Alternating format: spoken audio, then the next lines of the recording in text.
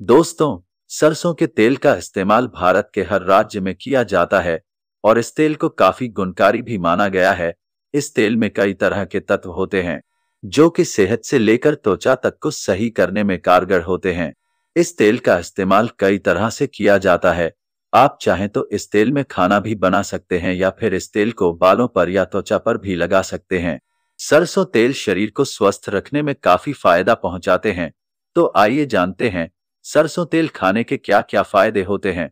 Number one सरसों के तेल से अगर पैरों की मालिश की जाए तो पैरों को मजबूती मिलती है और जोड़ों में दर्द भी नहीं होता है।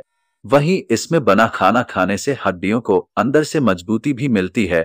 नंबर टू सरसों का तेल त्वचा के लिए भी अच्छा माना जाता है और इसमें बना खाना खाने से त्वचा को पोषण मिलता है। वहीं सर्दी के मौसम में आप रात को सोने से पहले इससे अपने चेहरे पर लगा लें। क्योंकि ये आपकी त्वचा को नमी भी प्रदान करता है। नंबर थ्री, अस्थमा से ग्रस्त लोगों के लिए भी सरसों का तेल लाभकारक होता है। और इस तेल में मौजूद मैग्नीशियम इस बीमारी से ग्रस्त लोगों को फ़ायदा पहुँचता है। नंबर फोर, दांतों में दर्द होने पर आप इस तेल में नमक मिलाकर उसे दांतों पर या फिर मसूरों लगा दें।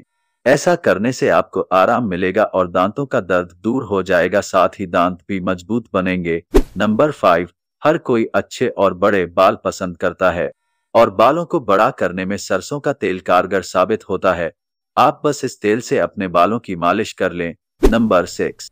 आजकल बाज़ार में कई तरह के तेल बेचे जा रहे हैं, और इन तेलों को सरसों के तेल से बेहतर बताया जाता है।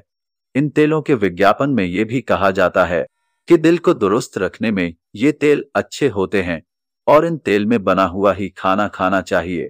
वहीं आज भी हमारे देश में लोग सरसों के तेल को ही सबसे उत्तम मानते हैं और इस तेल में ही हर प्रकार का खाना बनाते हैं। हालाँकि कई लोगों ने सरसों के तेल का इस्तेमाल करना बंद कर दिया है, क्योंकि उनको ये तेल दिल के लिए और सेहत के लिए सही नहीं लगता है। लेकिन हाल में की गई एक रिसर्च में पाया गया है कि सरसों के तेल का सेवन करना सेहतमंद होता है और इस तेल से दिल दुरुस्त रहता है। सरसों तेल में ओलिक एसिड यानी मोनोनसेचुरेटेड फैटी एसिड होता है, जो कि दिल की बीमारियों के होने से रोकता है।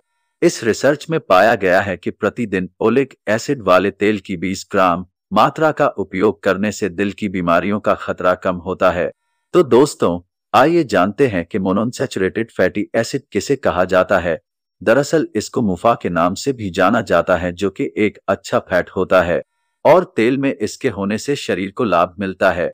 वहीं भारत में कई प्रकार के तेलों का इस्तेमाल लोगों द्वारा किया जाता है, जिनमें ये काफ़ी अच्छी मात्रा में पाया जाता है, और इन तेलों की सूची में सरसों के तेल सबसे ऊपर है। तो दोस्तों, उम्मीद करते हैं कि इस वीडियो से आपको अच्छी जानकारी मिली होगी। तो फ्रेंड्स, वीडियो देखने के लिए और अपना कीमती समय देने के लिए धन्यवाद। और वीडियो पसंद आए तो वीडियो को लाइक करें और साथ ही चैनल को सब्सक्राइब करें। और वीडियो को अन्य लोगों के साथ भी ज़रूर शेयर करें। मिलते हैं नेक्स्ट वीडियो में। Thank you